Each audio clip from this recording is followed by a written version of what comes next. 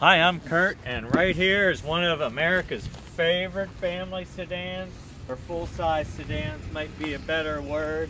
This is a 2016 Impala LT in black.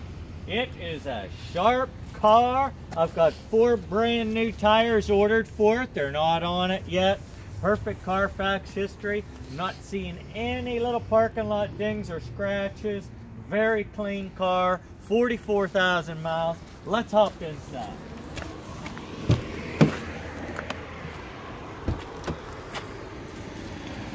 We've got factory remote car starter. We've got power seat. We've got hot seats, traction control, dual climate control, big touchscreen uh, audio system with uh, XM radio, Chevrolet MyLink, OnStar, big backup camera, Bluetooth. So it's got all the technology of today's cars.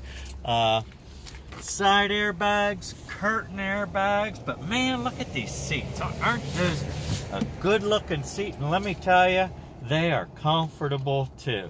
It's got the nice heavy duty floor mats. I like that, especially this time of year.